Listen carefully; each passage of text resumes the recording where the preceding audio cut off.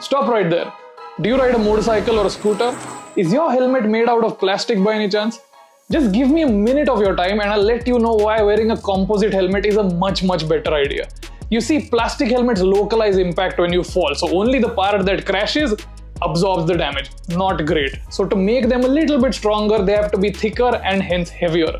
Composites spread the impact across the whole shell, which means they can be thinner, lighter, and stronger. The benefits just go all the way up. There's nothing to lose here. Wear composites, ride safer.